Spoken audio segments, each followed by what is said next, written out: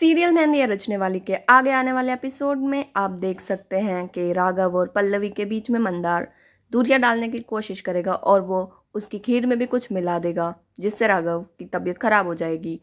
वहीं राघव आपको देखने को मिलेगा कि राघव कीर्ति और सन्नी को पकड़ लेता है और उन्हें बहुत ही ज़्यादा डांट सुनाता है। वहीं फराद और अमृता के बीच में भी हल्की हल्की प्यार की शुरुआत हो चुकी है। आप आगे आने वाले एपिसोड को लेकर कितना एक्साइटेड हैं? ये सब मुझे कमेंट सेक्शन में ज़रूर बताएँ। और हाँ चैनल को सब्सक्राइब करना ना भूलें।